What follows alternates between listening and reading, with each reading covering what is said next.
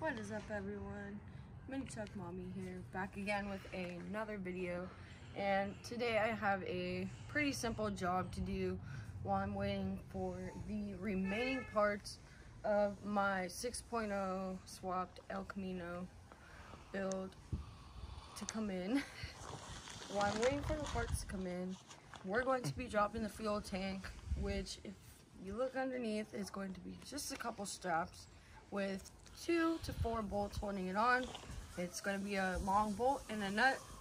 Um, and I believe they're all size 13 millimeter or half inch in standard size. So we're going to go ahead and get that gas tank off because we need to change and actually install a fuel pump on there because on the 305 it had an internal fuel pump so technically this car now has no way to pump the fuel until we buy one and install one. We ordered a fuel pump for a 4.3 fuel injected El Camino from Jegs and it is on the way. So hopefully you guys will get to see that video ASAP. But for now, everything looks great. I decided that I'm going to be going along two headers. So I'm to have to order a floor shifter kit which is really easy to install. So that's going to be another video to look out for. The swap today, I actually have to wait on the transmission cross member until I install the shifter kit. But this is a simple job. Let's get started.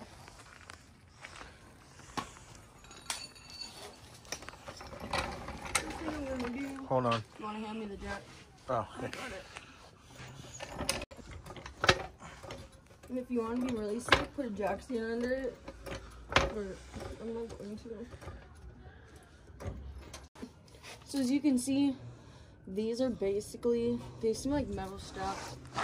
These are basically the straps holding on the gas tank. I'm going to start with these back ones. Anyways, these bolts are 13 millimeter and there should be four bolts holding the straps. Two on each strap. One that goes one up here and one down there. So I'm gonna go ahead and remove it. Do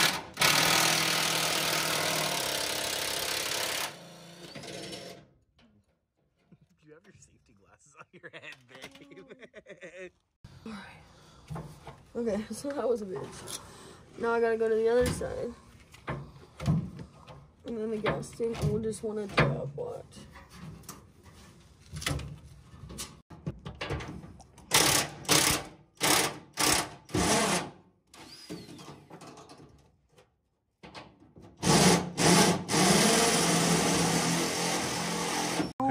I'm getting it out. Good shit. Thanks.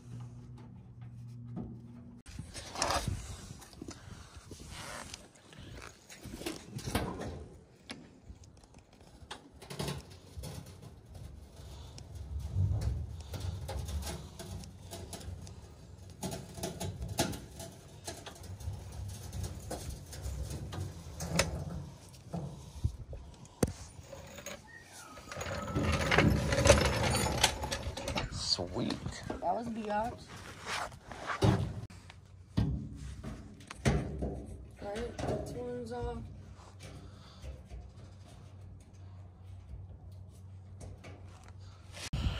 You must be going to whole shops to do what I can do in my backyard.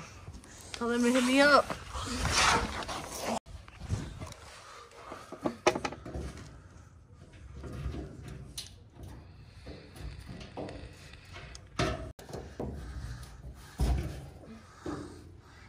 Did any fuel even come out?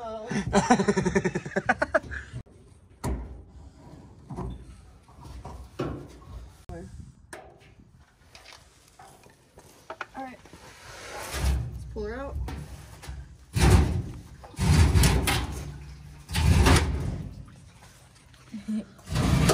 Make sure that's not catching on anything, the I neck. need to go back. This way. It is catching on the neck. Here, I got you. Move it. Oh, hold on. We're just, we just need to take the gas cap off. Oh, I just broke the gas cap, so Oh. it broke from it being ripped off. Look, Uh, okay. hold on, I'm not sticking my hand in there. Where's a where's ply? Where's a pry bar?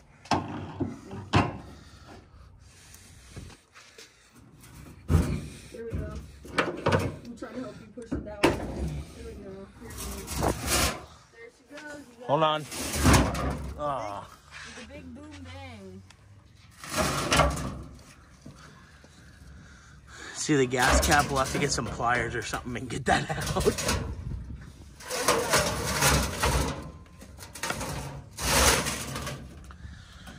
There you go. What's up, you guys? And we are back.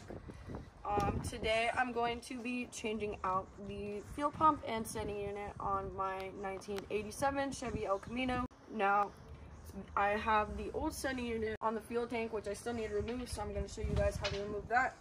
Um, but first off, let me explain you guys what the heck I'm holding in my hands. So, right here is a sending unit for a 4.3 V6 version of the same El Camino that I have. Alright, so we have our entryway into the fuel tank with our fuel pump mounting on a hose down here. Now, what you what you really want to do is get a push lock line, but it also includes these clamps. If you don't, um, my sending unit is a little, the base of the sending unit is a little off, so I need to get a longer hose. Um, so we're gonna go take a little trip to AutoZone today. All right, so if you're looking at it this way, we have our feed line on the right, we have our return in the middle, so that's gonna be easy to remember.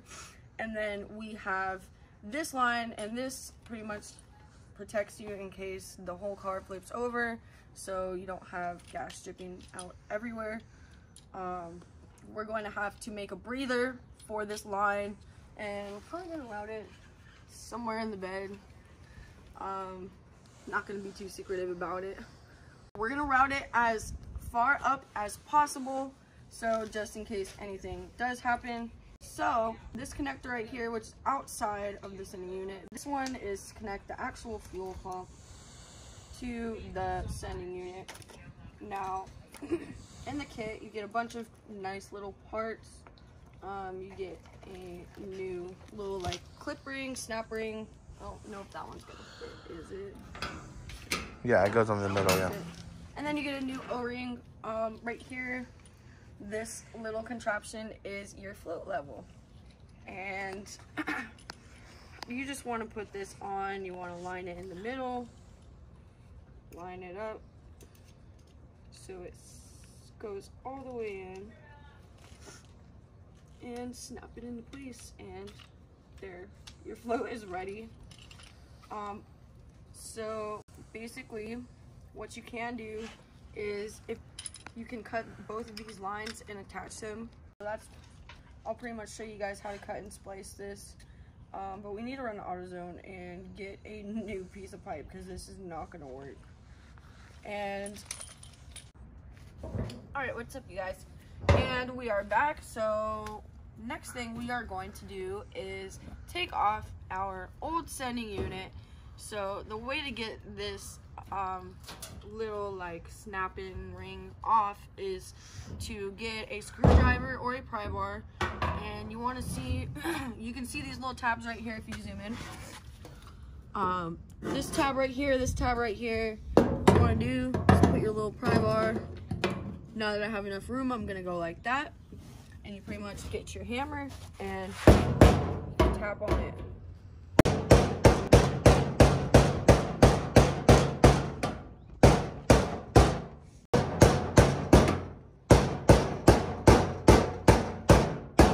See it move? Oh, it moved a whole lot right there.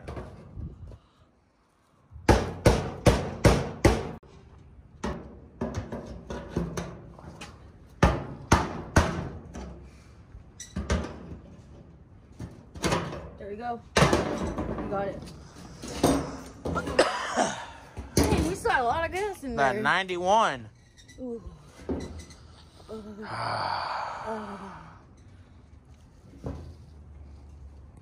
Wow. Ain't no cheap gas ran through here though. What you want to do is though, we want to pour it out. Now we want to suck everything up. So we gotta go get the vacuum. Nah, you're chilling. Yes. You don't want to suck anything new up into the new filter and the new fuel pump. So, let's go ahead and take this out.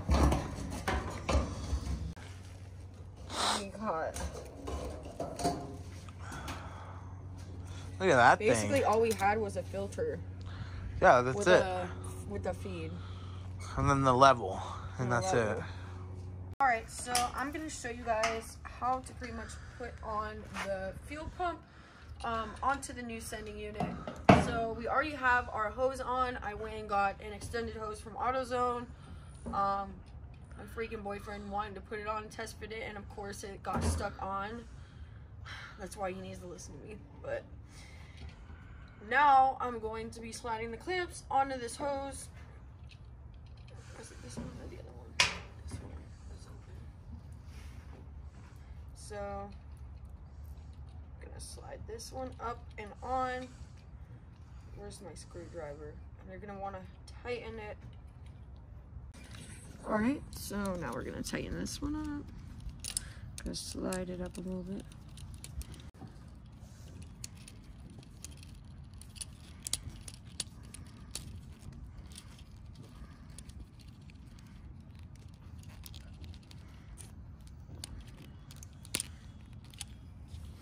Alright, so we have our hose on that side. And let's go ahead and slide this clamp on.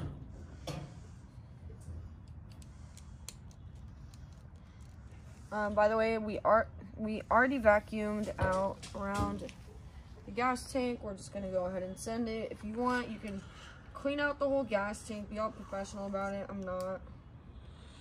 My homie's done swaps like this and has not cleaned out the gas tank for a lot of his builds, so I don't see a reason to do mine. Alright, so put on the second one. We're going to slide our fuel pump on. And now we also have this little rubber, uh, this little rubber seal. So what you want to do is you want to see these little four prongs, put it on the fuel pump. See like that.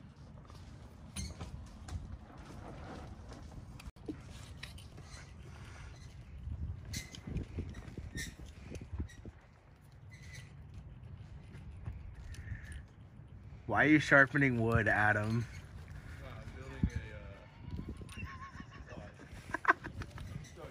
I zoomed in on him, babe. This is called a joint. You see how it's one solid piece now? This is one. oh, is it? Drill a hole, and then I have this thing sticking out right here, and then I put it together. Okay.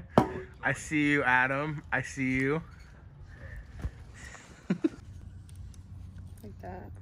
Mhm. Alright, so you have this in. Now tighten up your clamp.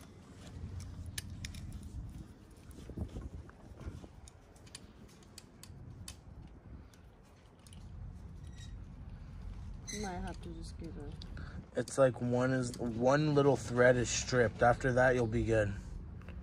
See? oh. It's like one spot is stripped, and after that, you're chilling. It's kind of stupid.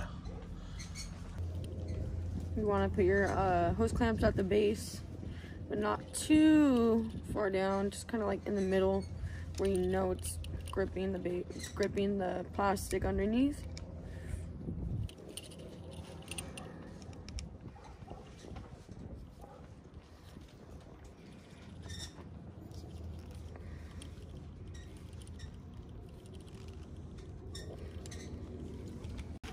Tighten it as tight as it'll let you tight. Chevy tire slayer with it. Chevy Tire Slayer, Slayer's words. Can't even say my name right. What? What, you want me to crank down on it? No. Okay. No. All right. So, float here. Now, what we need to do is connect these two wires. We have positive, or we have negative, and then we have positive wire, which is black is negative, uh, red is positive. So what we need to do is basically take off this connector and um, connect this black line with this red line, and then we'll be ready to drop this fuel pump in. Yeah, so now we're gonna be cutting the wires and splicing them. Let's not cut them too short in case I mess up. Snip.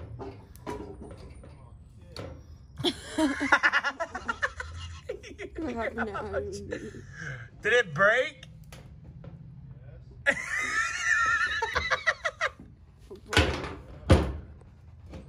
So pretty much now we need to connect this wire to this wire. Ouch. Ooh, that hurt. That sucked.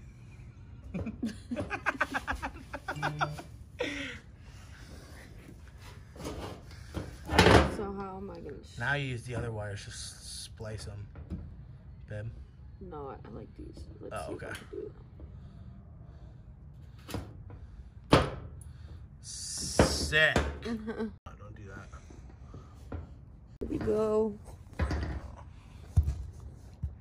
And Mm. no.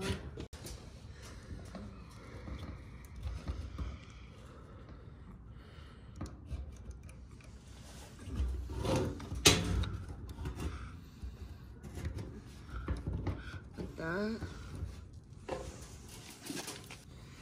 Crimp it, and then we're gonna take this shit away, and we're gonna take it away and make it waterproof or weatherproof. I don't think it's completely waterproof, but I'm using the best connectors I Now just do the black wires and you'll be chilling. Like he said, I'll just do the black wires and we will be chilling. My friggin' Let's cut this off a little bit. Let's get a good amount. oh shit. Make sure it's not too short. Just peel it off at this point. Okay, there we go.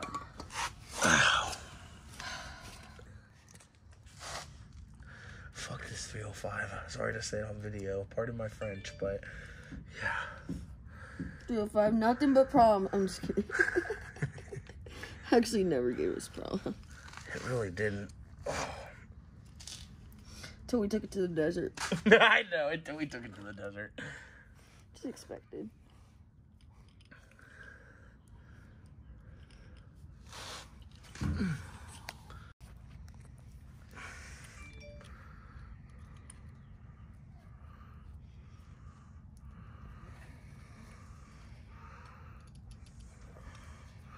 There you go. That's good.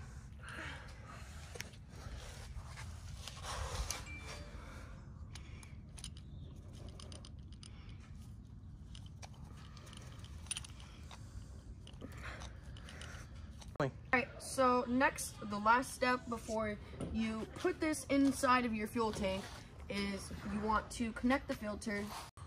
Alright, so now we're going to put the filter in.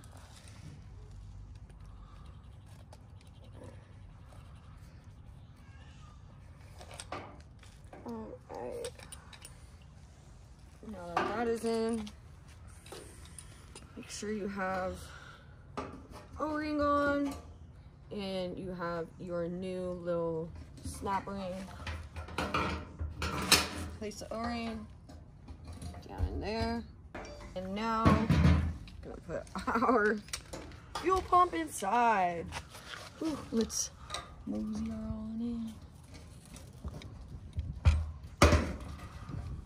in. Ooh.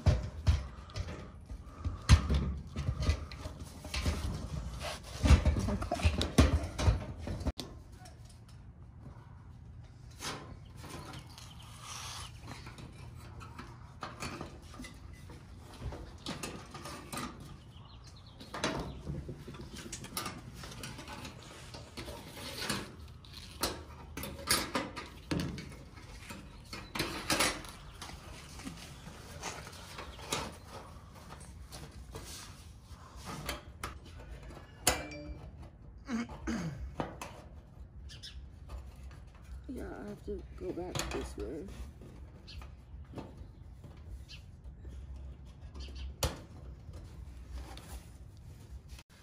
All right. Okay.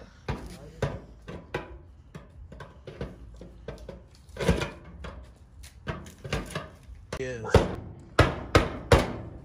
You're getting this. So,